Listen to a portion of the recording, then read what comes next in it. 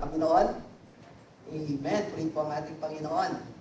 Sa atin po na mga nagmamahal sa Diyos, ang araw po na ito ay araw po ng pananambahan.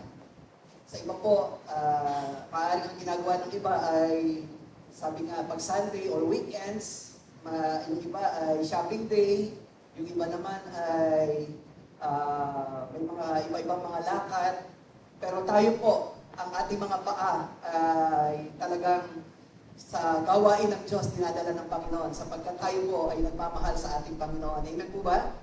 Binabalik lamang natin sa Panginoon ang may pagpapasalamat yung mga araw na pinagpala niya, kaya marapat lamang po na tayo naman ay magbalik ng papuri sa ating Panginoon. Amen po? Nandiyan po ba kayo? Ayan, praise God, muli pang Panginoon. Ayan, so summer na po. At hindi lang basta summer, kundi talagang hot, hot summer.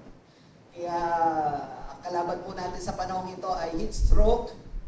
Mahalaga po na lagi po tayong mag-rehydrate. Lagi po dapat na may mga uh, baon tayong tubig. Kaya yung mga tumblers natin ay ngayong pagkakataon po na ito ay talagang dapat po uh, lagi nating dala-dala kasi napakainit po talaga sa panahon ito.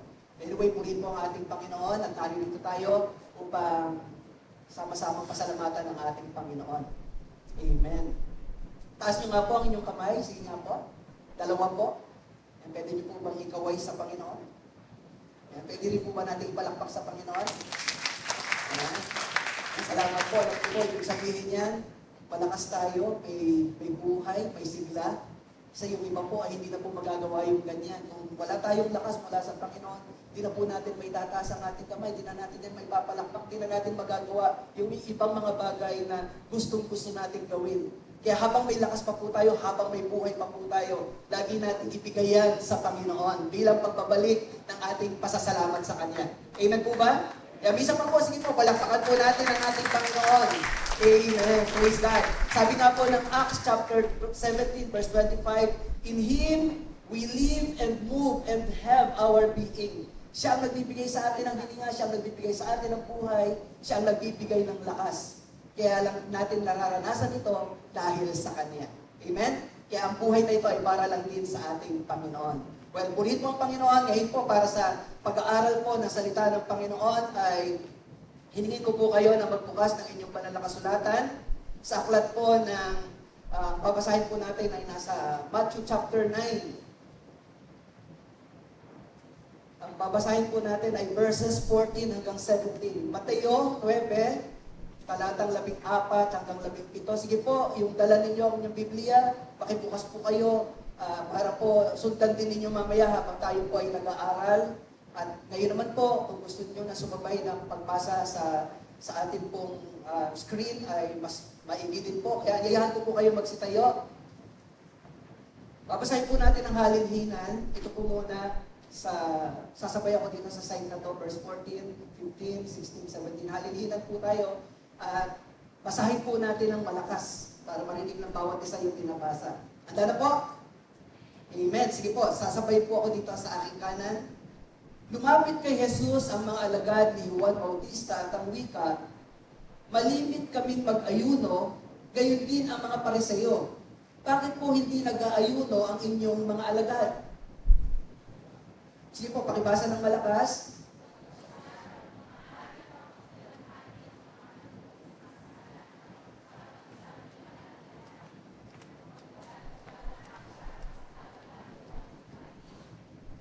Walang nagtatagpi ng bagong kayo sa lumang kasuotan sapagkat mababatak nito ang tinagpian at lalong lalaki ang punit.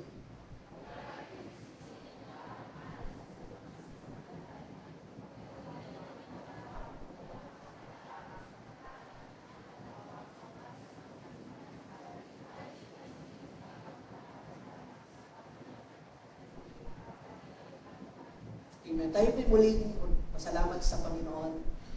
Hallelujah. Yes, O God, minsan ka po, po namin na dinadakila, minsan ka pa po namin na pinararangalan sa oras na ito sapagkat muli, O Diyos, pangungusap ka sa amin sa pamamagitan po ng iyong buhay, panal at makapangyarihang salita. O Diyos, naririto po ang iyong bayan, dalangin po po, Panginoon, katulad ng panalangin ni Apostle Paul. Open our spiritual understanding, Lord God, sapagkat nais mo na ang iyong salita hindi lamang pinakikinggan, nais mo na ito'y aming maunawa ang lubos bilang mga matabang lupa.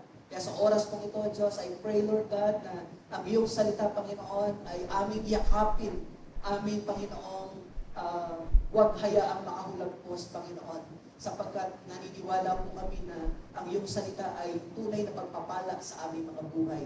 Kaya sa oras po ito, Diyos, muli ay mangusap ka, magturo ka sa pamamagitan po ng iyong salita. At gamitin po ang iyong lingkod, ang iyong kapangyarihan na pumusko sa iyong lingkod, ang iyong kapangyarihan, Panginoon, ang iyong karunungan, Panginoon, ang mahayag at ang salita ng iyong lingkod, Panginoon, pawalan ng kabulungan upang ang pananampalataya ng iyong bayan ay hindi sa salita ng iyong lingkod, kundi sa bawat salita mo, Diyos, na inihayag mo. Doon po nila ilaga ang kanilang pananampalataya. Maraming maraming salamat, O Diyos. Ikaw po ang aming itinataas sa gawain ito. Wala po kami ibang itinataas, kundi ikaw lamang, aming Panginoon, aming tagapagligtas. Salamat po sa iyo, Diyos, in Jesus' mighty name. Everybody say Amen. Makakaupo na po kayo ulit, ulit po ang ating Panginoon. Mahalaga po ang ating bibigyan ng pansin sa ating pag-aaral ngayon, lalo na po tayo bilang mga uh, tagasunod ng Panginoon o bilang mga alagad ng Panginoon. Nais ng Panginoon, ang lahat ng ating mga ginagawa ay hindi lamang out of religiosity, kundi dahil naglilingkod tayo sapagkat alam natin karapat dapat paglingkuran ng ating Diyos na nagmahal sa atin. Sapagkat may pagkakataon, mga kapatid sa Panginoon, na ang ating paglilingkod ay maaari na maging religiosity lamang. Pero hindi ayon doon sa tunay na, na uri ng paglilingkod na nais ng Panginoon sa bawat isa sa atin. At ngayon, yun po ang ating bibigyan ng pansin. True Christianity versus religiosity. At sasagutin po natin yung tanong na paano ba natin ma-distinguish? How can we distinguish true Christianity from mere religiosity? Ano ba ang kaibahan ng, ng tunay na pananampalataya, ng tunay na paglilingkod, ng tunay na pagsamba sa Panginoon? Ano ba ang tunay na ano ba ang kaibahan ng tunay na Kristyanismo sa naglilingkod pero hindi ayon sa tamang uh, purpose o layunin at mula po dito sa passage na ating pinag-aaralan, ay ito po yung ating makikitang mahalaga na binibigyan pansin ng ating Panginoon sa passage na ito. Ang tagpong ito ng banal na kasulatan ay napakaganda pong larawan o halimbawa para po makita natin ang distinction. Ako pa talaga ay naglilingkod sa Panginoon o ang aking ginagawa ba ay uh, ito ay parang routine na lamang or maaaring yung iba ay dahil responsibility, may responsibility ako sa church, kaya kailangan kong umaten, kailangan kong pumunta.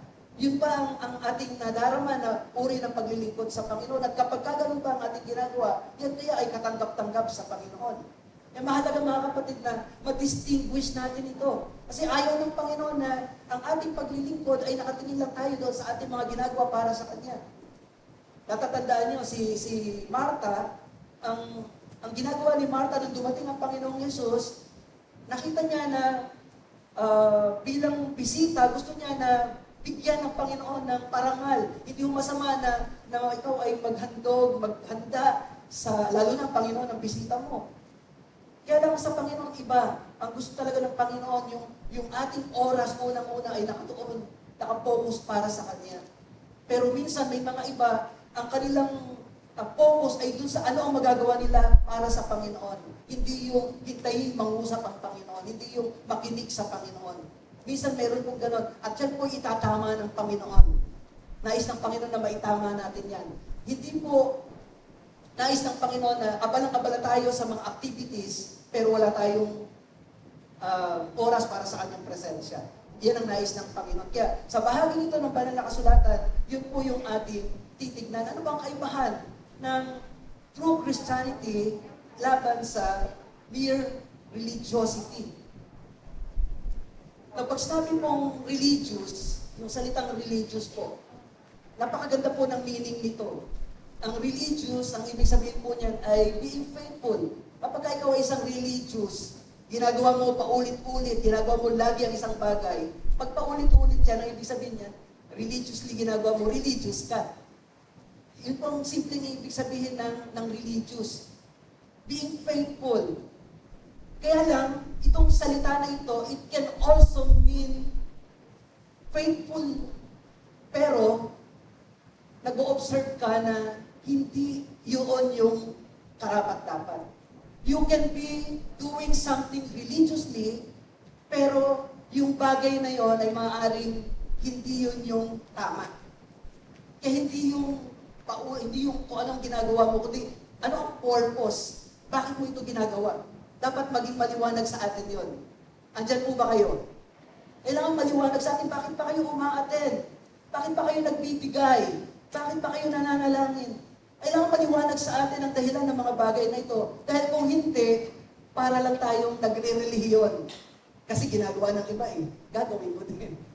So kailangan mali- mali- maging maliwanag po ito sa atin. And today, yan po yung ating bibigyan ng pansin. Kasi po, kung ang religious, pagiging religious is being faithful to something that you are habitually doing, ang pag sinabi naman pong Christianity, ang simple po na definition ng Christianity is life. Ibig sabihin, pag sinabi mong Christianity, ah, hindi ito isang portion lang ng buhay mo. Kundi ang Christianity ay buhay mo. Kaya nga sinasabi natin, Christianity is life or our life. Hindi, ang Christianity ay hindi po pag Sunday ka Kristiyano. Pagamat mayroong gano'n ang kaisipan. Pagka nasa gawain ng Panginoon, banal. Hindi gano'n ang Christianity. Ang Christianity po, mga kapatid sa Panginoon, buhay natin. Kaya nasa gawain tayo o wala tayo sa gawain, nananatili yung ating pagiging Kristiyano. Dahil buhay natin ito, may nakakakita man sa ating mga ginagawa o wala, nananatili tayong Kristiyano. Hindi tayo yung mga, sabi nga, mga hypocrites na sa harapan ng iba, banal pag may nakakakita, pero pagka solo na, ay iba na ang ginagawa. So ito po yung ating titingnan ngayon sa ating pag-aaral. At dito nga po ay uh, nakita natin na lumapit ang mga alagad ni Juan Bautista sa ating Panginoon at sinabi po niya, malimit kaming mag-ayuno, gayon din ang mga pariseyo. Bakit po hindi nag-aayuno ang inyong mga alagad?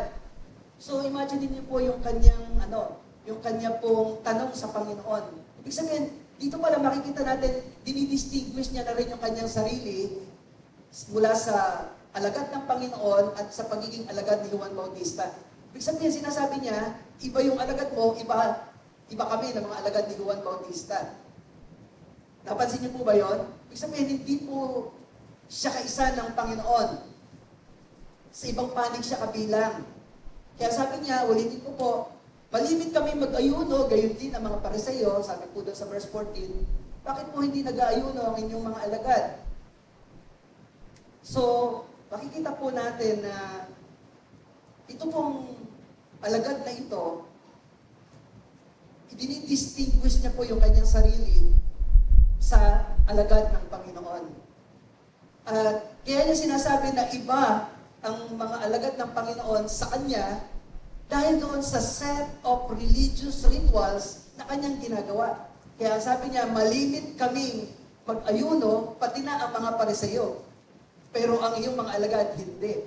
O bakit hindi ito ginagawa ng iyong mga alagad? So, para sinasabi niya na dahil ito ang aming ginagawa, kami ay mga alagad ni Juan Bautista at ito ang aming mga ginagawa, bakit hindi nyo rin ginagawa yung ginagawa ni Juan Bautista na aming tagapangunan? So, parang tinatanong din nila ang Panginoon na bakit iba ang ginagawa ng mga alagad mo kaysa sa mga alagad ni Juan Bautista. So, meron talagang distinction.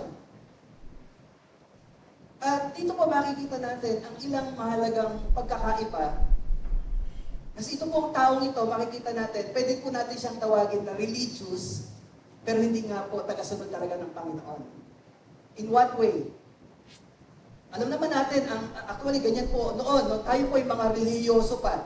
Nung hindi pa tayo talaga sumusunod ng lubos sa Panginoon ayon sa kanyang pamantayan. Nung tayo yung nagre-relihiyon pa. Ibig sabihin, meron tayong ginagawa para sa Panginoon, Halimbawa po, ako noon, alam ko, pagkalinggo, nung bata pa po ako, uh, pagkalinggo ay linggo para sa Panginoon.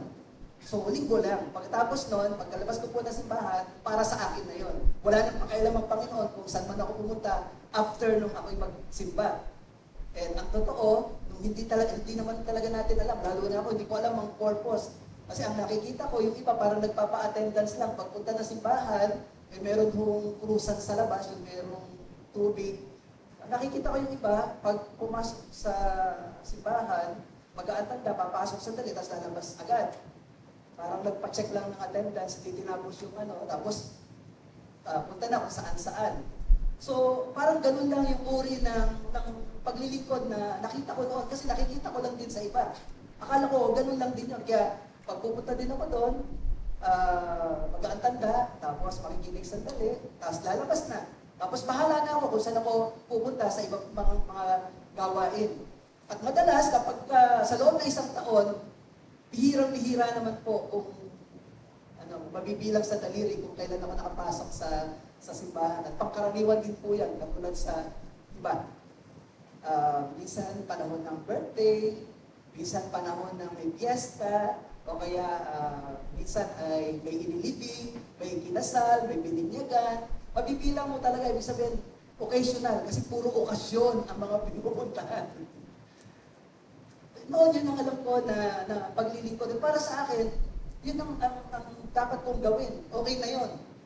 Pero hindi pala gano'n ang nais lang ng Panginoon. Hindi yung parang ang Panginoon ay bahagi lang ng buhay natin na hindi talaga natin siya lubos na sinusunod. Kaya gusto ng Panginoon na ituwid ang ating pananampalataya. Kaya noon, kung ako ay gano'n ang ginagawa ko, pinagmamalaki ko yan. Ay, ako yung palasimba. Kahit hindi naman buong taon, pero ang tawag ko pa rin sa sarili ko ay palasimba. Di ba pwedeng gano'n? Kasi ang relihiyon, pinupost natin o pinapahayag natin kung ano yung ating ginagawa para sa Panginoon. Yun yung pinagmamalaki natin. Ah, ganito. Pagka meron tayong ginagawa, sinasabi natin, ginawa ko to para sa Panginoon. Yun po yung relihiyon. Actually, ang, ang simple meaning po ng relihiyon is uh, man's way of going back to God. Kaya meron tayong mga series or mga rituals, mga observances na ginagawa natin na akala natin, kapag ginawa natin yon Naiisip natin yun, at ito gagawin ko para sa Panginoon. Akala natin, dahil naisip natin at gusto natin gawin para sa Panginoon, ay okay na yon. Yung tayo ang nag-isip at tayo rin ang gumawa. Parang sa akin, ganun noon. Pero hindi po ganun ang tinuturo ng Panginoon. Actually, ang, ang religion ay para din democracy. Man's way. Di ba? Ang government, alam naman natin, ang government, ang democracy is man's government pag, pamamahala ng tao sa gobyerno. Alam natin yan, di ba? Democracy is, ano yan, government of the people, by the people, and for the people. At mahalaga po, sabi nga po, may mga dalubhasa sa, sa pamamahala ng gobyerno. Sabi nila, mabuti ang democracy. Mabuting mabuti talaga yan.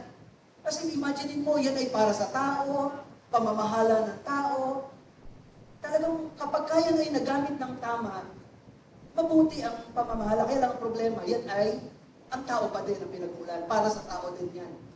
Kaya sabi niya, pag nag-malfunction ang democracy, ito ang mangyayari. Tingnan niyo po ang mangyayari sa sa democracy na nag-malfunction. Ito na daw. Sabi niya, government. Paano niyo na po yung uh, typo error? Ayan. So pag nag-function po ang, ang democracy, ito na po ang mangyayari. By the people, P-U-Y, of the people, alsin ang tao, and for the people. well, hindi ko na kayo tatanungin kung ano po ang, ang sitwasyon ng ating bansa bilang isang democratic nation. Kung totoo po yun, kung ang ating bang democracy sa, sa bansang ito ay nagpapunction ng tama o malfunction po ang democracy sa ating bansa.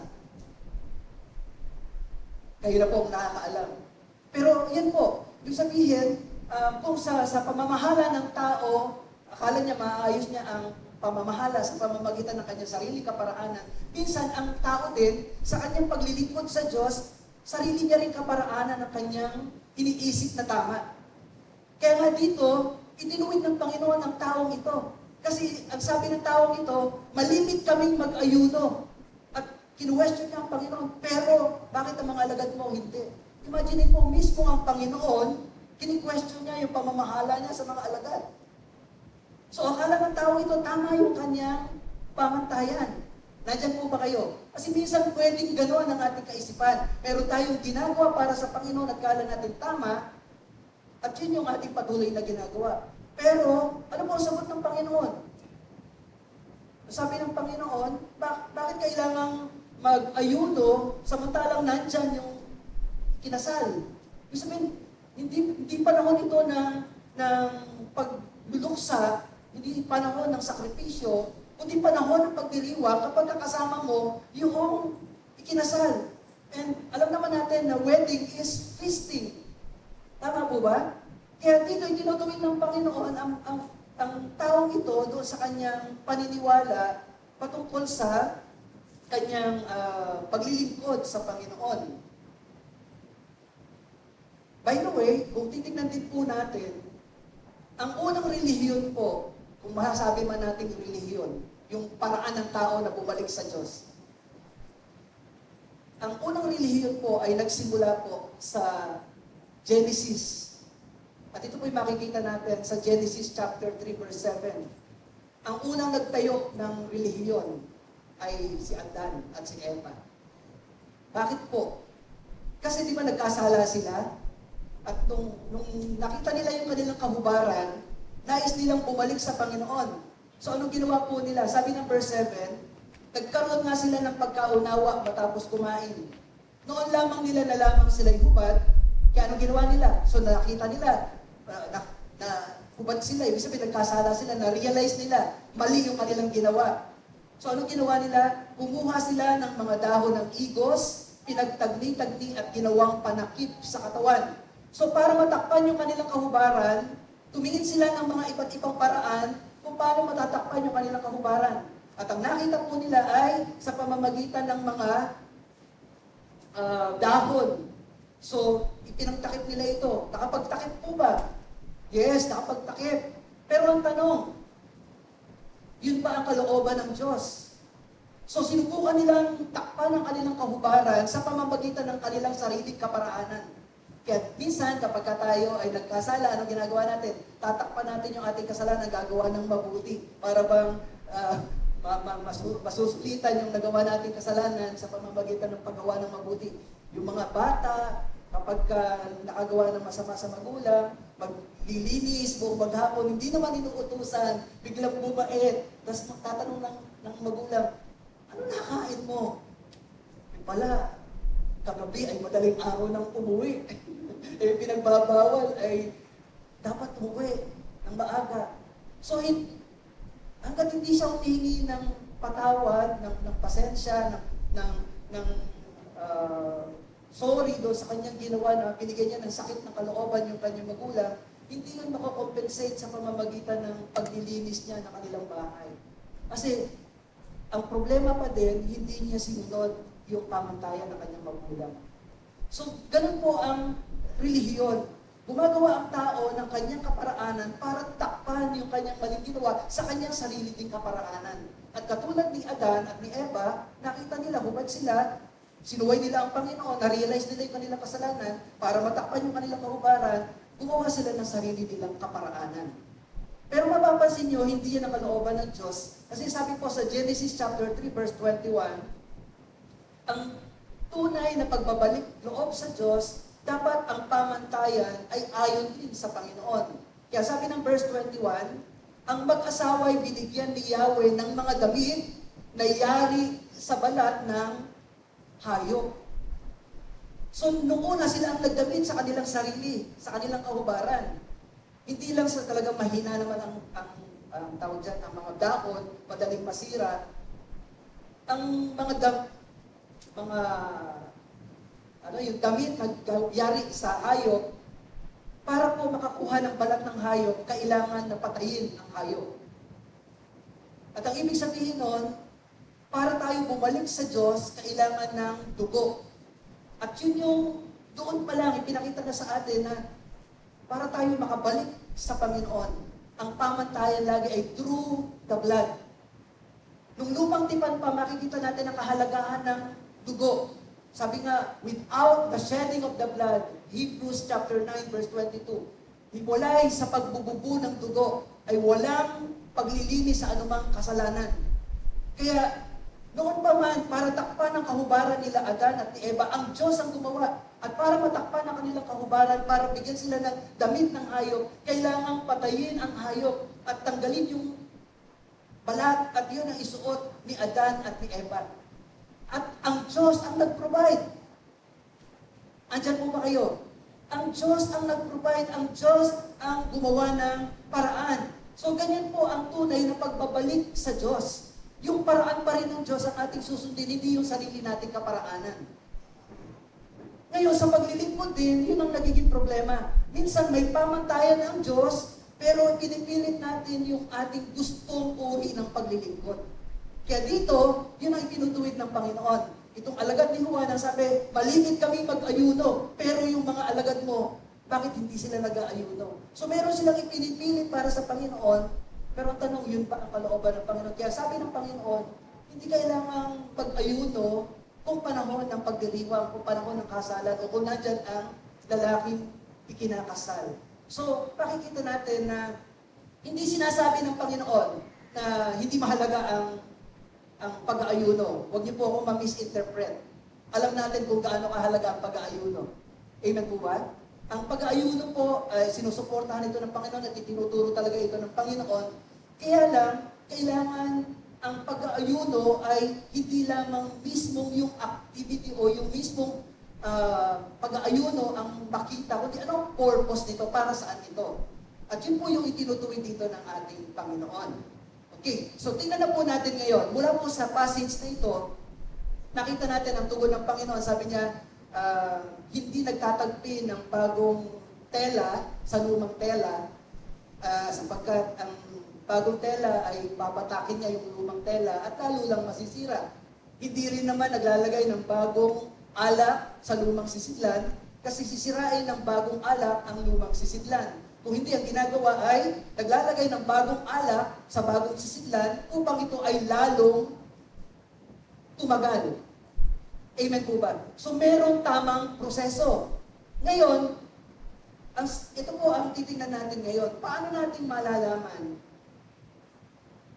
ang isang tao, particularly tayo bilang mananampalataya, paano natin malalaman ang ating ginagawa ay maaaring parang pagiging religious lang, pero hindi talaga pagiging tunay na pananampalataya. May limang pamantayan po. Ang una po, how to distinguish true Christianity from being mere religious. Number one, a religious person is pious but not according to the truth. Ano pong ibig sabihin ng pious, piety? Yung, ang ibig sabihin po niyan ay yung marundok. Ang ibig sabihin po niyan ay andun po yung kasigasigan. So yan po ang ibig sabihin ng pious At ito po yung makikita natin sa lumapit sa Panginoong Hesus. Masabi po niya, makikita niyo po yung kanyang rugdog. Malimit kaming mag-ayuno. Gayon din ang mga parisayo. So, ibig sabihin, very confident siya na yung kanyang laging ginagawa ay ginagawa niya talaga ito ng masidhi. Kasi alam niya na dapat gawin, ginagawa niya ito ng paulit-ulit. So, nandun yung sidhi, nandun yung rugdog, Masigasig na ino-observe itong mga rituals na ito. Kaya lang, ang matindi nga po, sabi, you can be sincere, but you can be sincerely wrong. Ibig sabihin sa ating buhay paglilingkod, ang tunay na Kristyanismo ay hindi dapat nakabase sa ano yung alam natin. Kundi ito'y nakabase dapat sa katotohanan, sa turo ng Panginoon. Hindi yung damdamin, kung hindi ayon sa turo ng Panginoon na siyang katotohanan. Siguro natatandaan niyo po yung dalawang tao na kinuwento ng Panginoon sa Lucas chapter 19 18 pala, chapter 19, verse, uh, 18, verse 9 hanggang 14. Yung dalawang nanalangin, yung isa ay publikano, at yung isa naman po ay para sa iyo, nagkwento ang Panginoon ng talinghaga. At sabi niya, meron tao na pumasok sa templo, pumanhik upang manalangin ng isa'y para at ang isa naman ay publikano. At tumindig ang para at pabulong na nalangin ng ganito. Sabi niya, O Diyos, So, ibig sabihin, nung pagpasok po nila doon sa, sa templo, nakatabi nung pariseyo, ang pariseyo po, sila po ay mga teachers of the law. Ibig sabihin, alam nila ang kautusan. Sinusunod nila ang kautusan. At ang isang publikano naman po, siya po ay maniningil ng buwis. Isang tao na ang trabaho po ay marumi, kumbaga sa atin, mga corrupt officials ng government pero pareho silang nakita sa, sa, sa simbahan, sabi ng Panginoon, pareho silang pumasok. Kaya lang ito po yung pagkakaiba. Nung pumasok po yung para sa iyo, at nakita niya yung publikano na katabi niya, tumingala siya at nanalangin, Panginoon, salamat po na hindi ako katulad ng tao ito. Uma para nag, nagmamalaki siya sa Panginoon. Panginoon, salamat na hindi ako katulad ng masamang tao ito. At pinagmalaki niya ang ginagawa niya sa Panginoon. Panginoon, three times a week, nag-aayuno. Or nag nagpe-pray. At ang sabi pa niya, tapat siya na nagbibigay ng kanyang tithes.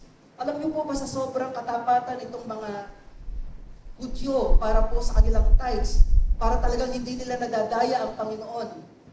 Meron po silang masyadong legalistic at saka exaggerated na paraan.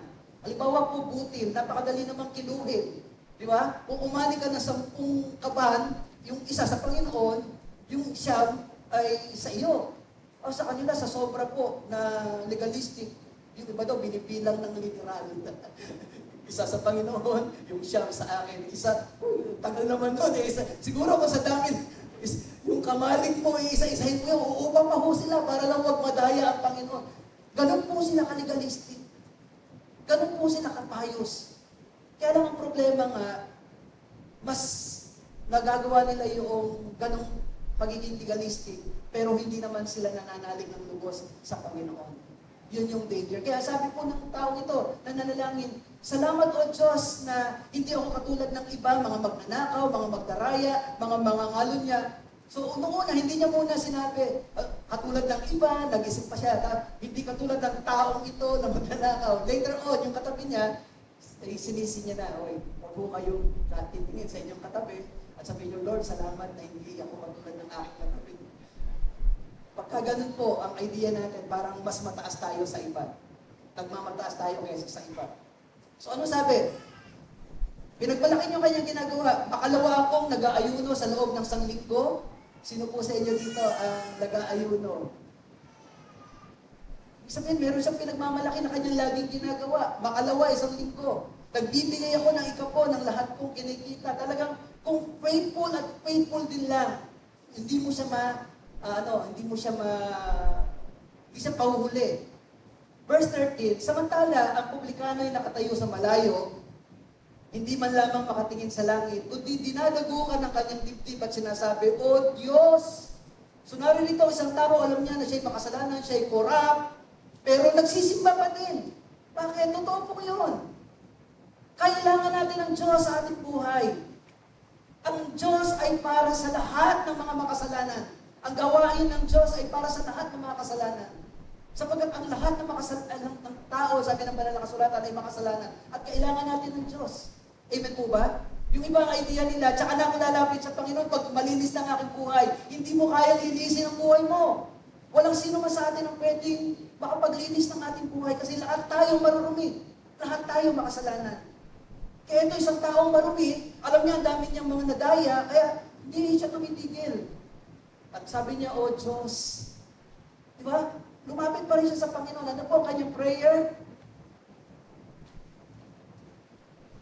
Dinadagukan yung kanyang dibdib. Mahabag po kayo sa akin na isang makasalanan. Ano sabi ng napakaikling prayer?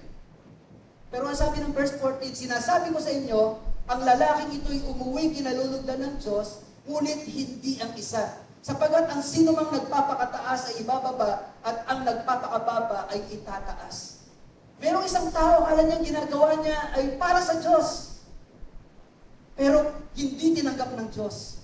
Isang tao na marumi, hindi makatingin sa Diyos, alam niya siya'y makasalanan, pero lumapit sa Diyos, humingi ng habag sa Diyos. Ang sabi ng Panginoon, sino sa dalawa ang umuwi na kinalulugdan ng Diyos? Mismo ang Panginoon ang nagsabi, yung nagpakumbaba, yung dinadagukan ng kanyang sarili, mas kinalulugdan ng Diyos. Bakit? It's not what we do for God, but what God has done in our lives. Yun ang importante sa Diyos. Hindi natin pwedeng ipagmalaki yung ating ipinaglilingkod sa Diyos. Ganito ang ginagawa ko sa Panginoon, ganito ang ginagawa ko. Hindi natin yan pwedeng ipagmalaki sa Diyos. Mabuti yan, mabuti po yung mga gawain na yan. Pero hindi yan ang nagbibigay ng kaluguran sa Panginoon. Hindi natin mabibigyan ng kaluguran ng Panginoon kung tayo ay gumagawa para sa kanila. Na ang idea natin, parang matutuwa ang Panginoon na, ah, ito mga achievements ko, Lord, ikikwento natin sa Kanya. Na para pang pagmamalaki. Hindi ang nais ng Panginoon ay may kapakumbabaan. Kaya marugdog, ngunit hindi ayon sa pamantayan ng Panginoon. Ganyan po ang mga nagre-religious, yung, yung religious, yung kanyang ginagawa, may karugtuban pero hindi ayon sa pamantayan ng Panginoon. Kaya mismo si Apostle Paul po, ang kanyang patotoo, alam niyo kung sidhi at sidhi rin lang ng kanyang pagsunod sa Panginoon. Sabi ni Apostle Paul, pinatotoo niya, sabi niya, lahat ng pamantayan ng isang Hudyo, sinunod ni Apostle Paul para patunayan na talagang ganun karugdog ang kanyang pagsunod sa Panginoon. Pero meron siyang patotoo sa Romans chapter 10 verse 2. Nakita niya na yung lahat ng kanyang ginagawa ay wala pa nagsaysay sa Panginoon. Sabi niya, pinanganak siyang Hudyo, nag-aral siya sa paanan ni Gamaliel, at sinusunod niya ang lahat ng pamantayan ng mga Hudyo. Pero natagpuan niya ang kanyang sarili na hindi doon sa pagsunod sa kautusan, tinatanggap ng Panginoon ang ating mga ginagawa. Sabi niya, Romans chapter 10 verse 2, makikilala ko o mapapatunayan ko sila ay nagsisikap na maging kalugod-lugod sa Diyos, subalit mali ang kanilang patayan. Mismo si Apostle Paul na unawaan niya, hindi yung kanyang ginagawa para sa Panginoon, kundi ano ang ginawa ng Panginoon para sa kanya. Kaya nga nung siya po ay inusig niya ang church, pag binasa niyo po ang kwento ng buhay ni Apostle Paul, sumusunod siya sa Panginoon, sinusunod niya ang kautusan, lahat ng pamantayan sinusunod niya. Pero ano sabi ng Biblia sa chapter 9? Nung makatagpo niya ang Panginoong Jesus, kinausap siya ng Panginoon, nung namatay ng Panginoon, Saulo, Saulo, bakit mo ako pinag-uusig? Sabi niya, sino ka Panginoon na aking inuusig? Ako si Jesus na yung inuusig. Kaya ang inuusig naman niya, yung church.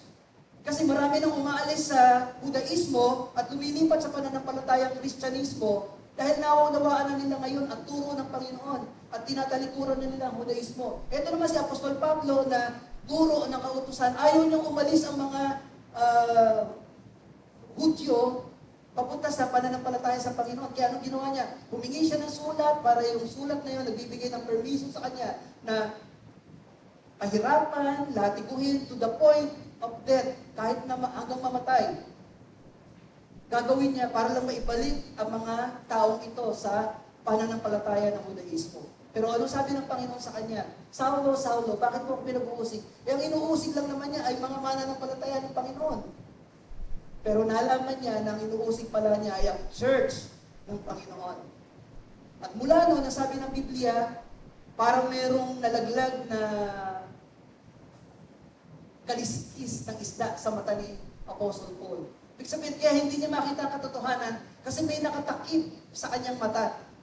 At nung maalis yung takip na yon, anong naging patotoo niya? Kahapon, sabi ng mga alagad, kahapon ay tinutugis tayo ng mamamatay taong ito. Kasi kinabukasan po, nagpapatotoo si Pablo na ang Panginoong Jesus ang kanyang Panginoon, eh hindi mo maniwala yung mga uh, mananampalataya kasi kahapon nga naman ay healer, tapos ngayon ay nagte-testify. Ba minsan ganyan din ang mga mahal natin sa buhay. Hindi tayo agad na unawaan nung nakilala natin ang Panginoon, natutuwa tayo, nagpapatotoo tayo na, alam nyo, binigay ko na ang buhay ko sa Panginoon, binago na ng Panginoon ang buhay ko. Oh, Totoo ba? Di ba minsan, mismo yung mga mahal natin sa buhay na nakakakilala sa atin, hindi agad naniniwala sa sinasabi natin. Hinahanap nila yung pruweba. Pero minsan po, totoo po yun, ganun ang nangyayari sa atin. Ang mga payos o yung mga religious, yan po ay marugdog, pero minsan mali po ang kanilang batayan. Kaya nga po, sabi din ng Proverbs chapter 19 verse 2, It is not good to have zeal without knowledge, nor to be hasty and miss the way. Marugtog man kung mangmang. Kahit gaano ka kasipil, di ba? Kita niyo yung mga Muslim, dahil sa kanilang pananampalataya para sa kanila, yung ibinibigay nila ang kanilang buhay, suicide bomber sila, daladala nila yung mga bomba sa katawan nila, at papasabugin nila yung area ng maraming mga tao. Imagine niyo po yun, dahil sa kanilang pananampalataya, ginagawa nila yon. Ganon sila kasugid. Ganon sila karugdog. Pero mali po yun. Kaya sabi ng Biblia, masugid man kumamang, or it is not good to have zeal without knowledge. Walang saysay ang pagiging marundong. Ang pagmamadali, napapahamak. Ang nagmamadali, napapahamak. So ganun din po sa ating pananampalataya. Dapat alam natin ang purpose, why we do these things. Bakit pa tayo naglilingkod sa Diyos? Dapat maliwanag sa inyo ang purpose. Bakit pa kayo narito sa gawain ng Diyos? Bakit pa kayo sumasamba sa Diyos? Dapat maliwanag sa inyo ang dahilan. Walang ibang dahilan kundi para unahin ang Panginoon sa inyong buhay. Yun yung dapat na purpose natin. Hindi yung, ah, kasi doon maganda ang awitan. Ah, kasi doon, uh, maganda ang pakiramdam ko. Hindi ko pakiramdam ang pasihan. Dapat ang rugtog ng inyong paglilingkod, ano ang ginawa ng Panginoon sa inyong buhay na siyang dahilan kung bakit kayo naglilingkod para sa Kanya. Dapat alam niyo yung purpose. Kasi kung hindi, maaaring, ay, kaya ako umatid kasi nakasign ako tumugtog. O kaya, kaya ako umatid kasi may bahagi na ko. Hindi po ganon. Dapat, masabi natin, na nadama ko ang pag-ibig ng Diyos, inibig niya ako, at binibigyan niya ako ng pagkakataon para magamit sa kanyang gawain. Kaya binibigay ko ang aking buhay para sa Panginoon. Sabi ni Apostle Paul, the love of God compels me. So dapat ganun din mga kapatid, kung marugtog man tayo, dahil yon sa pag-ibig ng Diyos na ibinigay sa atin. Kaya marugtog natin siya paglingkuran. Hindi dahil sa mga tungkulin na mayroon tayo. Amen po ba? Bahagi na lamang yung tungkulin na yan. Ikalawa po, religious people focus on activity. Kaya pasinin niyo po, ang focus ng lalaking ito, ng taong ito, sabi po ng alagad na ito, ay pag-aayuno ang kanyang tinanong sa Panginoon. Maari, kaya sabi ng, ng lalaking ito sa Panginoon, bakit hindi nag-aayuno? Yun ang question niya sa Panginoon. Ano naman ang sagot ng Panginoon? Sabi niya, maaari bang magdalamhati ang mga panauhin sa kasalan habang kasama nila ang lalaking ikinasal? Kapag wala na siya, saka pa lamang sila mag-aayuno. So, ang mga religious, ang focus nila is yung activity, yung kanilang paggagawa, yung kanilang pagkukuha, pagpapakinabang. Yun po yung kalagayan ng mga religious. Pero pinapakita sa atin dito ng Panginoon, true Christianity is or should be focused on the Lord.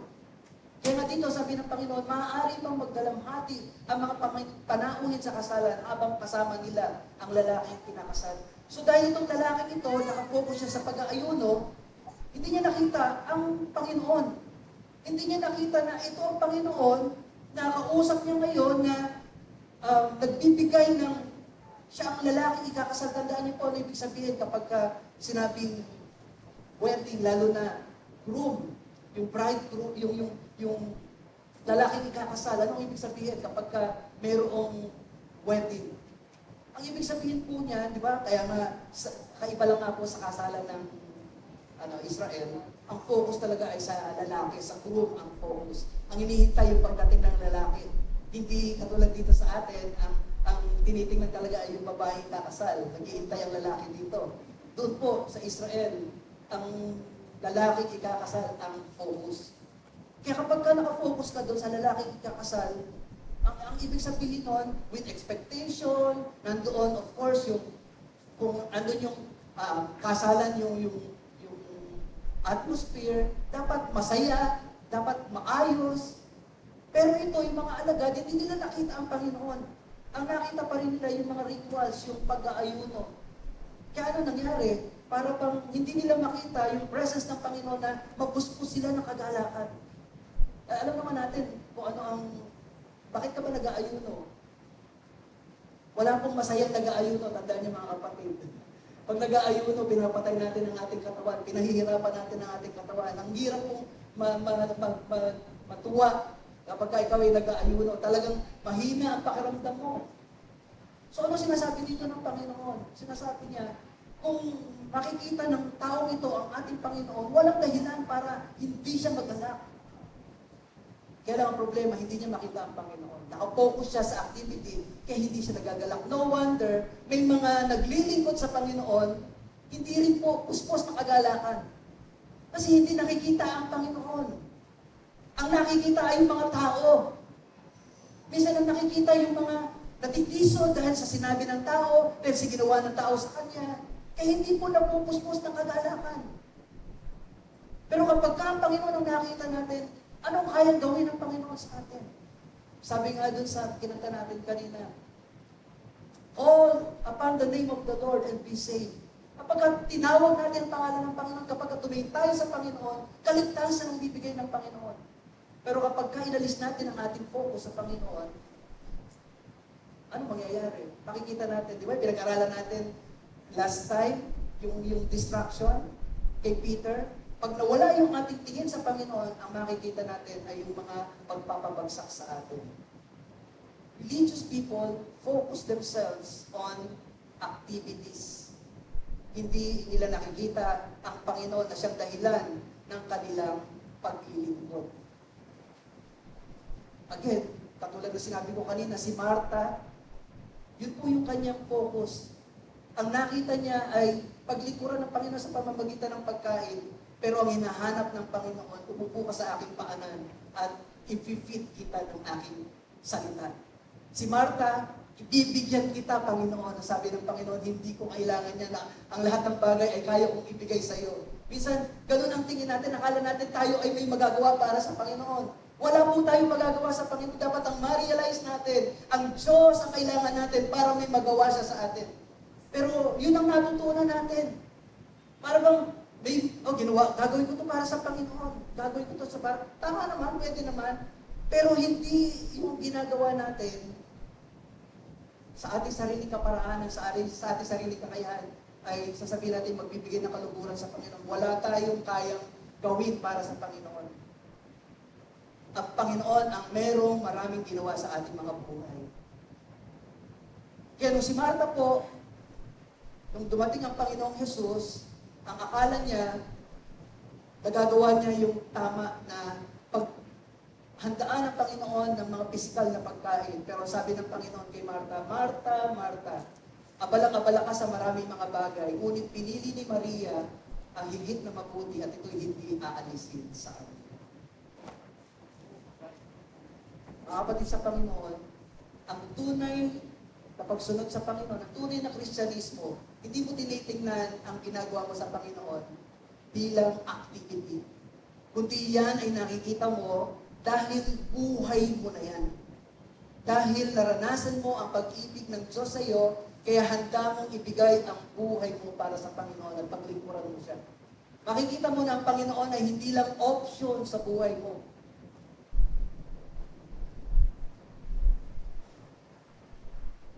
At kung malalim ang tingin mo sa gawain ng Diyos, you will always wanted to be with God. You will always wanted to be a part of God's gathering. Kasi andon ang presensya ng Diyos, andon ang mga kapatid. At ito ang nagpapalago ng iyong buhay pananampalataya. Ang activity para sa iyo ay mahalaga kasi alam mo, kailangan mo yun. Kasi kailangan mo ang Diyos, tinatagpo ka ng Diyos sa pamamagitan ng mga gawain. Yun ang tunay na dahilan kung bakit kakasama sa gawain ng Diyos. At yun ang dahilan mga kapatid kung bakit patuloy na mga leaders ng iglesyang ito ay nag-encourage sa inyo. Attend po kayo ng buhay ugnayan, attend po kayo ng ganitong gawain. Hindi lang po yan for the sake na mayroong gawain at mayroong attendance. Hindi po. Yan po'y para sa ikalalago ng pananampalataya ng bawat isa. Hindi po yan basta activity lang. Sa bawat gawain na ginagawa natin, kasama natin ang Diyos. At kung sa inyo mahalaga ang inyong buhay paglago, uunahin niyo ang Panginoon sa inyong buhay. Amen po ba?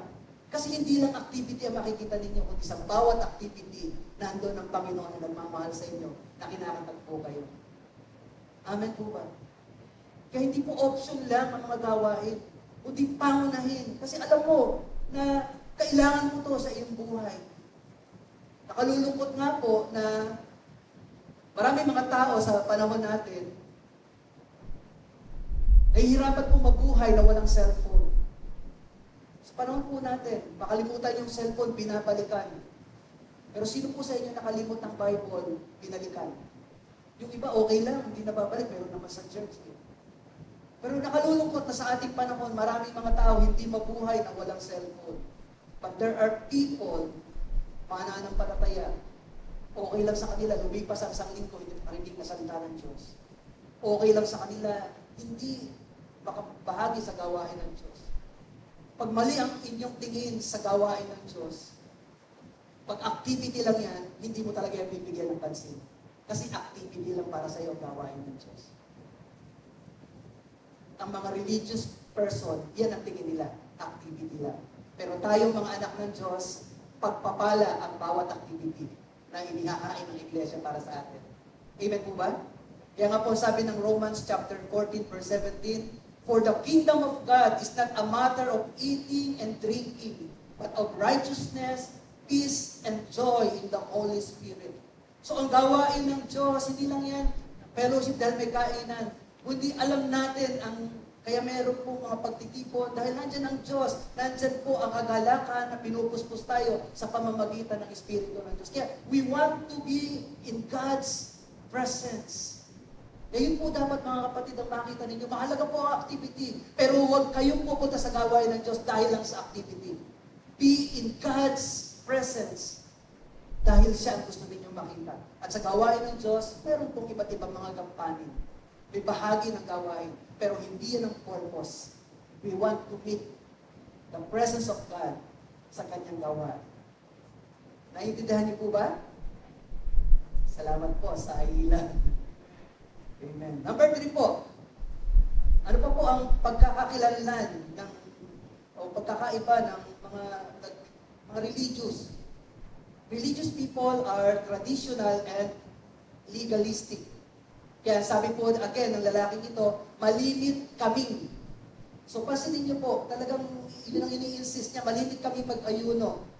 Bakit hindi ginagawa ng mga alagad mo? Dahil itong ginagawa namin, dapat ganito din ang ginagawa niyo.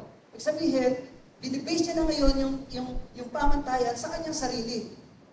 Sa kanilang practice, hindi na doon sa ayon sa kalooban ng Panginoon. Malimit kami, dapat ganito din. Ganito ginagawa namin, dapat ganito din kayo. Ano tawag dyan? Tradition and legalist. At ang matindi pa nito, yung mga legalistic at saka yung mga traditional, ang nangyayari po, ang gusto nila, postura, kilos, kung ano yung ayos, yun talaga yung dapat gawin. Halimbawa, katulad nito, uh, uh, fasting. So dahil fasting, gusto nila na talagang to the letter, sundin yung fasting. At pagka hindi mo sinunod ito to the letter, nagkakamali ka. Halimbawa po, ang mga alagad, ganito po ang tindi. Bago po sila kumain, meron pong pamantayan sa kautusan kung paano pong magbugas ng kamay. Hindi ho basta-basta kakain ka at basta, basta ka maghuhugas. May proseso pa po yan. Kaya again, nasaway na naman ng Panginoon. Bakit yung mga alagad mo, ang sisipa, pagkakita sa pagkain, kain agad, hindi man lang naghuhugas. Eh di ba sabi ng utos ni Moises, dapat bago kumain, yung kubyertos, lahat talagang hindi numero yan. Nasaway na naman ng Panginoon ng mga, mga tradisyonal na ito. So minsan ganun kasi, para bang pag hindi mo yan ginawa sa tamang pamantayan, halimbawa, pagka kayo ay sumasamba sa Panginoon, uh, di ba minsan talagang sa sobrang kapuspusan ng banal na Espiritu, taas ang kamay natin, may patakpan ng luha at uho. Di ba? Hindi natin mapigilan yun, pero enjoy na enjoy natin kasi yung presence ng Panginoon. Sa iba naman po, mga tradisyonal, pinipigilan po nila yung kanilang ano, yung kanilang damdamin, yung kanilang uh, yung kanilang postura, gusto nila sa picture, maganda pa din sila. parang huwag kang lalagpas doon sa, sa norm. Kasi pag lumagpas ka dyan, parang hindi na yan ang Panginoon. Hanggang dito lang yan. May pamantayan hanggang dyan lang. Pag sumobra ka, hindi na yan sa Panginoon. Ganun ang mga tradisyonal. Halimbawa po, noon ang Panginoon, pag nagpapagaling, halimbawa sa bulag, pinagaling ng Panginoon yung bulag, hindi po. Di ba? Meron naman pinagaling ng Panginoong Jesus na hindi niya hindi po, naggawa siya ng putik, tapos ikinahit naman sa sa mata. Bako kayo po yung tao na ilapit niyo yung pagpapagaling, tapos tilagyan pa ng dumi, magagalit kayo dun sa Panginoon. Papagalingin po, hindi po, lalo niyo pong, parang gano'n, di ba? Pero ano ang ibig sabihin? Iba-iba ang kaparaanan ng Panginoon ng pagpapagaling. May pinagaling siya na bulag na hindi na kailangan hipuin. Meron lang siyang tinanong, anong gusto mo? Gusto ko pong makakita. O sige, makakakita ka na.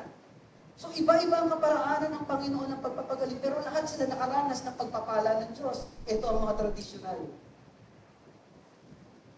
Dapat ang pagpapagaling ay dahil nagpa, nag, ano, Panginoon ng, ng putik, so gagayahin din nyo, dapat ang pagpapagaling din ay pag din tayo ng putik at ipahin din natin. Di ba? At nauso po noon, ito yung traditional din.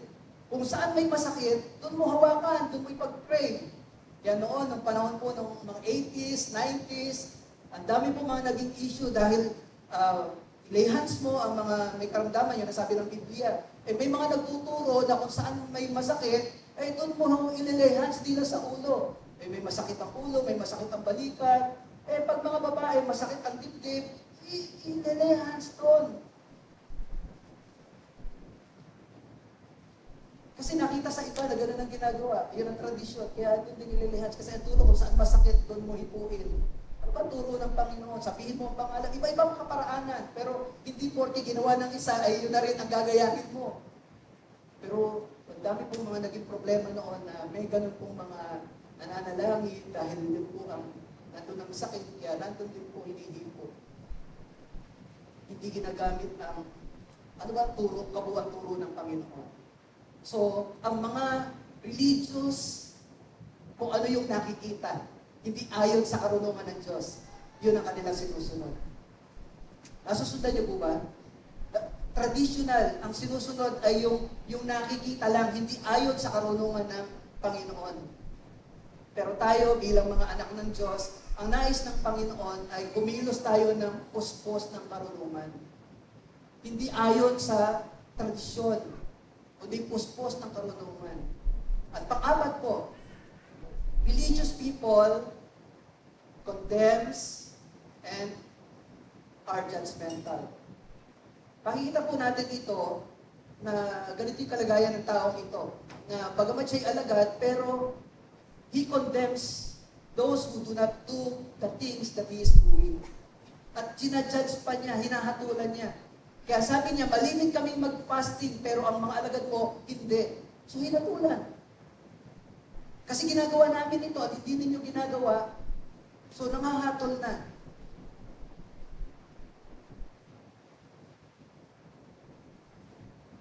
Mga kapatid sa Panginoon, ang tunay na Kristyanismo po, tunay na pagsunod sa Panginoon, nagpapasalamat tayo na may nagagawa tayo sa Panginoon sa kanyang biyaya. Pero hindi natin ipinagmamalaki na dahil nagagawa natin ito at hindi nagagawa ng iba, hahatulan na natin yung iba. Hindi po. Ang sinasabi sa atin dito ng Panginoon ay, kasi ang level po ng pananampalataya, antas-antas po yan, di ba? So minsan yung iba, ito pa lang ang kapasidad na kaya niyang gawin. Anong gagawin natin na nakaka, nasa mataas ng antas ng pananampalataya? I-guide natin, i-encourage natin para magawa yung pinagagawa ng Panginoon. Kung yung iba hindi pa po kayang gawin yung kayang gawin ng, ng mga leaders, encourage natin sila para matutunang gawin ang ipinagagawa ng Panginoon.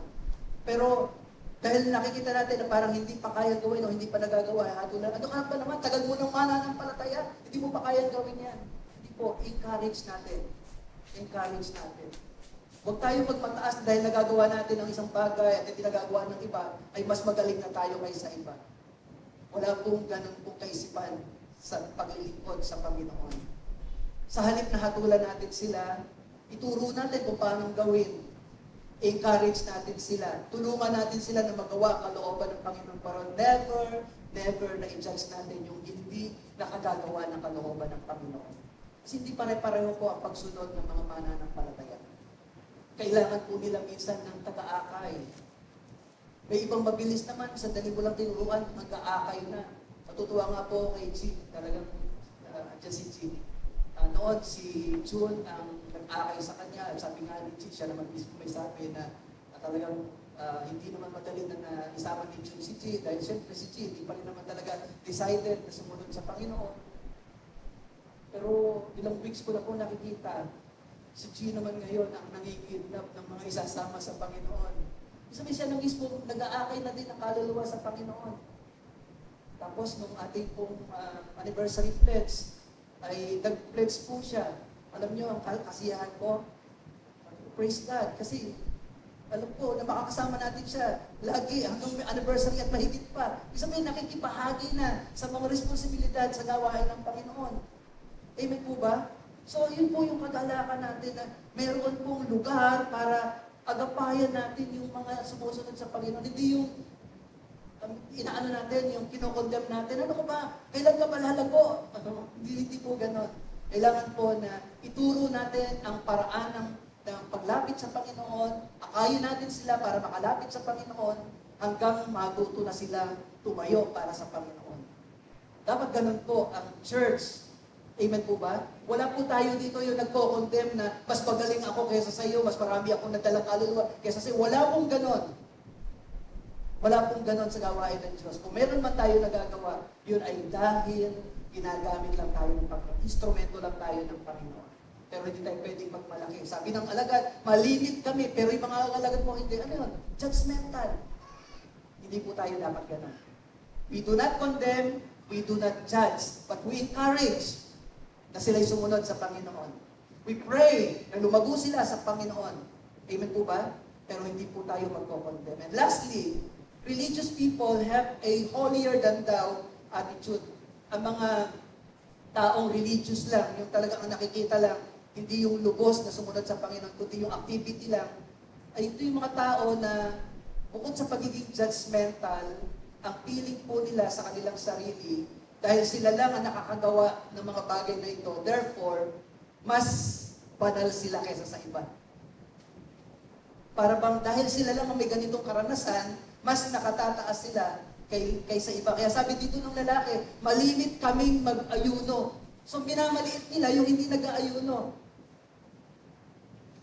Tama po ba? Kaya ang idea nila, dahil malimit kami, mas kami, mas banal kami sa hindi nag-aayuno, sa bihirang mag-ayuno. So ano po yun? Ang nakikita po nila yung kanilang ginagawa. At hindi po yan ang kalooban ng Panginoon. Ang kalooban po ng Panginoon sa bawat isa sa atin hindi po ang panukat natin sa paglilingkod ay yung mga ginagawa natin. Kung hindi nagpapasalamat tayo na tayo po ay ginagamit ng Panginoon. Now, titinan po natin sa mabilis na, na pagpabalik tanaw, yung nabuo po natin sa pamamagitan po ng mga ginagawa ng mga uh, religious people, ang makikita po natin ay yung word na pats. Kaya sabi ng Panginoon, walang sino mang nagtatagpi ng bagong tela sa lumang tela. So, patch, pagtatahi. At ano po yun? Ang religious people, they are pious, they are activity-oriented, they are traditional and legalistic, they condemn and they judge, and they have the attitude of holier than others. So ano ibig sabihin dito mga kapatid? Hindi yan kalooban ng Diyos. Hindi yan ang paglilingkod para sa Panginoon. Hindi dapat naka-focus sa activity. Pagko sasabi ng Panginoon, walang sino man na nagtatagpi ng bagong tela sa lumang tela. So, dinis- dinisregard ito ng Panginoon. Ano gusto ng Panginoon? Bagong sisidlan sa bagong alak.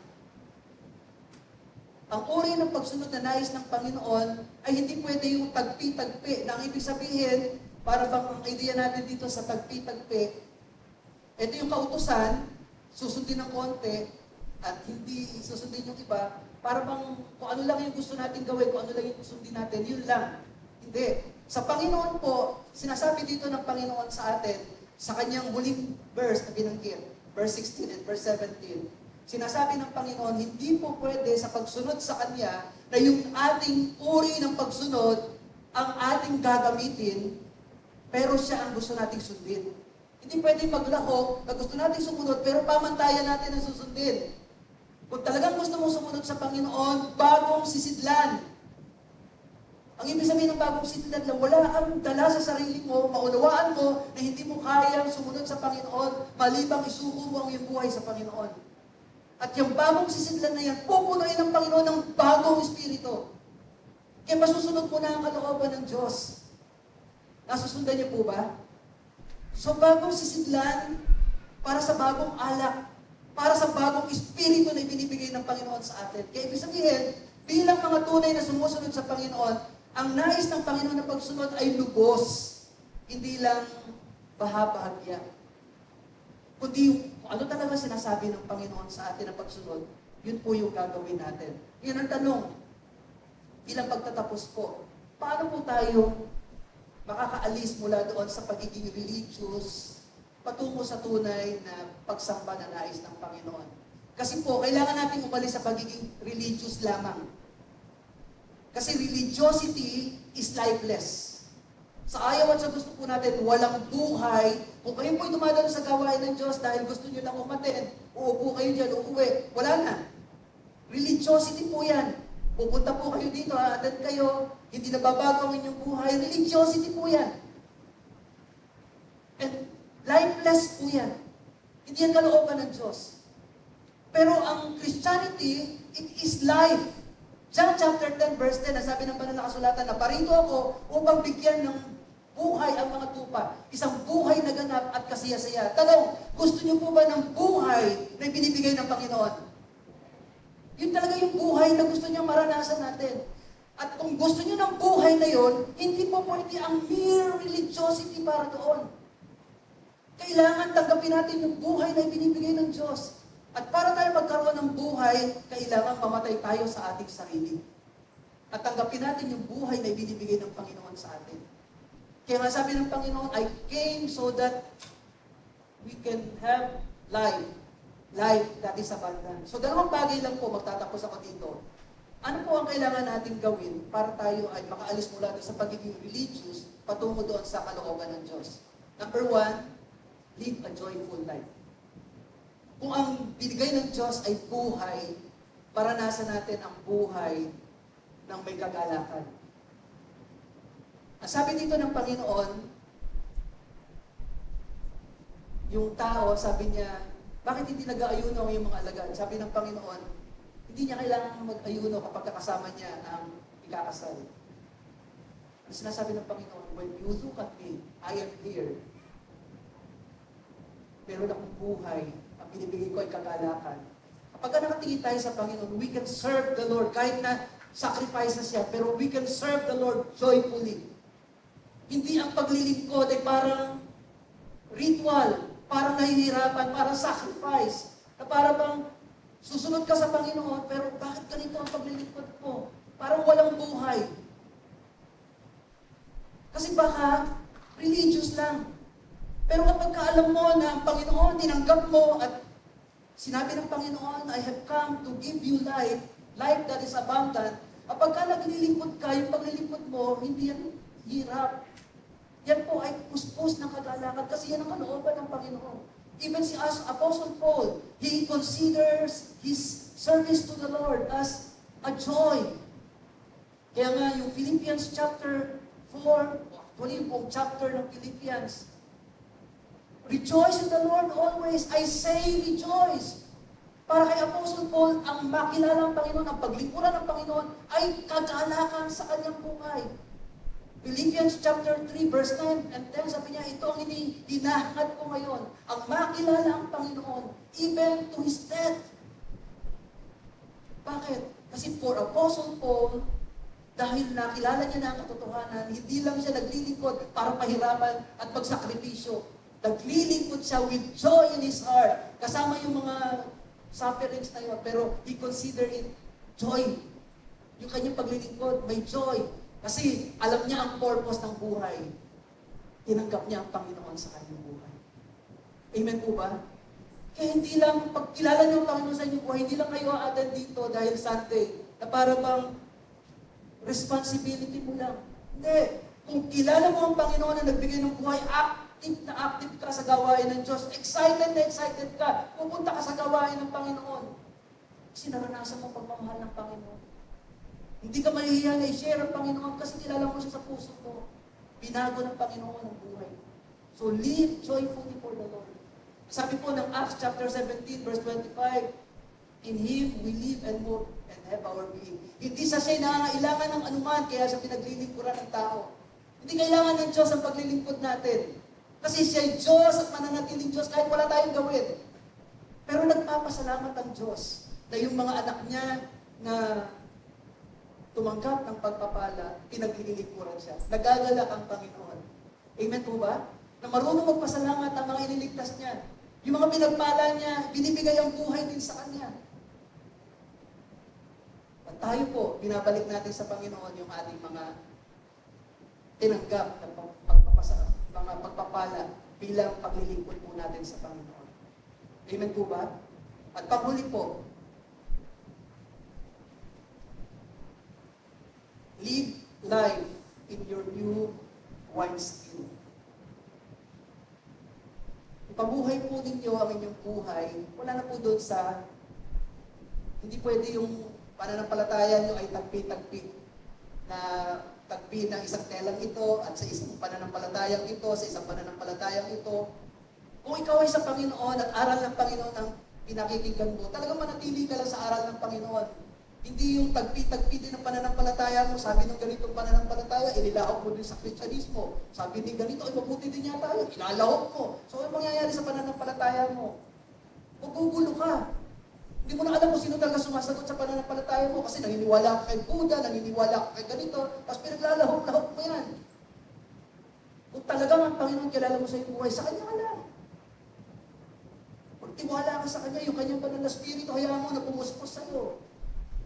Kasi yun po ang kalooban ng Diyos tayo sa Kanya. So live your life in new wineskin.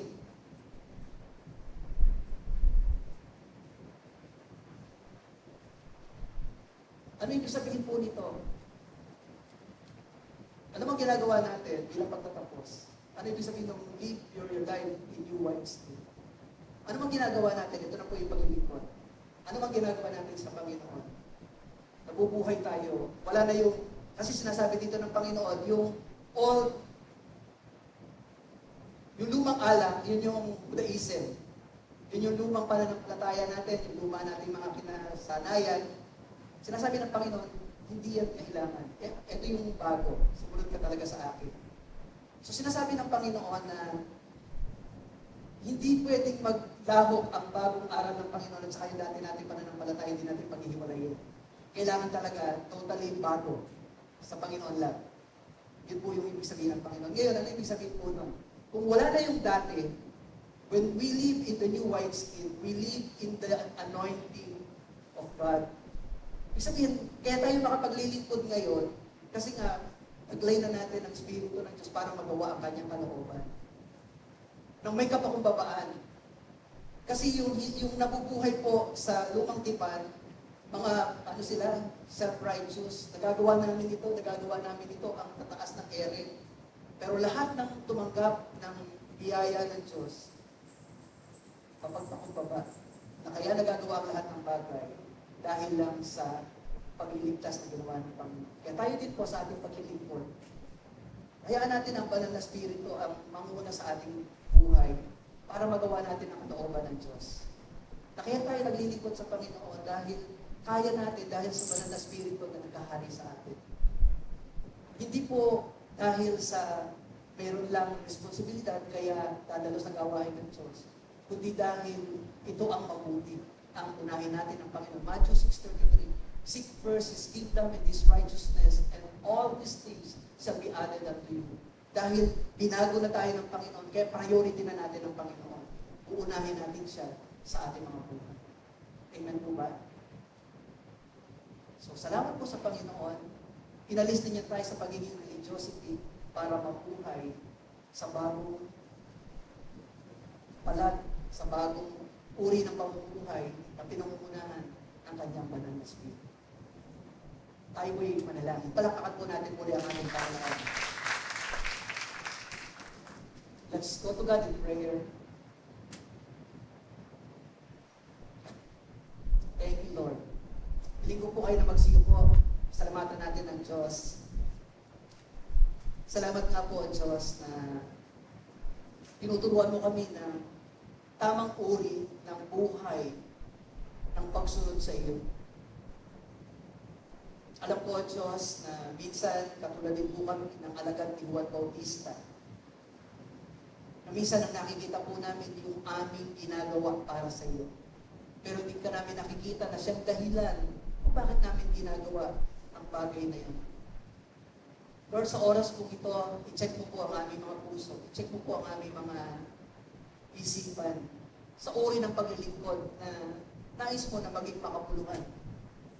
Ayaw mo po ng paglilingkod na katulad ng kay Martha na nakabase sa mga activity kung ano yung magagawa niya para sa iyo. Kundi ang nais mo na paglilingkod ay yung katulad ng kay Martha na handang daan ng oras, makinig sa iyong tinig, hanggang patuloy o Diyos ng karunungan mo ang bumuno sa aming mga buhay upang magawa namin ang iyong kalooban. O Diyos, ang tunay na paglilingkod na nais mo sa amin ay hindi yung magagawa namin para sa iyo, kundi yung ano ang ipinapagawa mo sa amin na dapat po namin gawin para sa iyong kalooban. Hindi mo po nais, Panginoon, na ang aming paglilingkod ay katulad ng tagpi-tagpi tela. Iba-ibang mga aral ang pinaglalahok-lahok namin mula sa iba-ibang mga aral din ng iba-ibang mga relihiyon. Ang nais mo, Panginoon, sabi mo, walang nagtatagpi ng bagong tela sa lumang tela. Dahil gusto mo, Panginoon, kung ikaw talaga ang aming sinusunod bilang aming Panginoon, ikaw ang aming tagapagligtas, at ang aral mo, ang salita mo ay buhay at makapangyarihan. Nais ko na aral mo lang ang Panginoon ang aming maging pamantayan. Kaya Lord, saliksigin mo ang puso ng bawat isa ng iyong mga lingkod na kapahagi ng Jewels FM na hindi lamang kami umaaten na hindi alam ang purpose. Hindi ang iyong mga anak, Panginoon, kaya naririto sa gawain kasi gusto kang makilala ng lubusan. Kaya naririto, Panginoon, kasi gusto kang marinig na nangungusap. Gusto, Panginoon, na maranasan ng iyong hipo, ang pagbabago ng buhay. Dahil alam namin, marumi po kami, Panginoon, at sa aming mga sarili, hindi po namin kayang pabuhin at linisin ang aming buhay. Kaya kailangan ka namin. Kaya lumalapit kami sa iyo, Panginoon. Baguhin mo po ang aming buhay, baguhin mo ang aming isipan. Pabuhin po ito ayon doon sa paglilingkod na nais po, Panginoon, na gawin po namin sa iyo. Hindi yung aming paglilingkod. Hindi yung paraan namin ng paglilingkod. Kundi yung nais mo, yung paraan mo, Panginoon. Sa pamamagitan po ng iyong banal na Espiritu, Diyos, pabuhin mo nga po ang aming mga pamantayan at may ayon po ito doon sa pamantayan ayon doon sa iyong salita. Bigyan mo sa amin yung mahalagang purpose kung bakit kami nasa iyong gawain. Yun ay upang makita ka namin bilang Panginoon namin na dapat namin inuuna sa aming mga buhay. Na dapat namin sinasamba at pinapasalamatan. Hindi para may makuha, hindi para may mapakinabangan. Alam mo na, Panginoon, ang aming pangangailangan. Alam mo na ang lahat ng ito, kahit hindi namin hingin, ibibigay mo ito sa amin, Panginoon. Pero hindi yun ang main purpose kung bakit po kami lahat ay tumatagpo sa iyo, Diyos. Naririto kami, O Diyos, sapagkat nais po namin magbalik ng papuri. Nais po namin sambahin ka sa Espiritu at katotohanan. Sapagkat ikaw nagbigay sa amin ng buhay, isang buhay na ganap at kasiyasiya.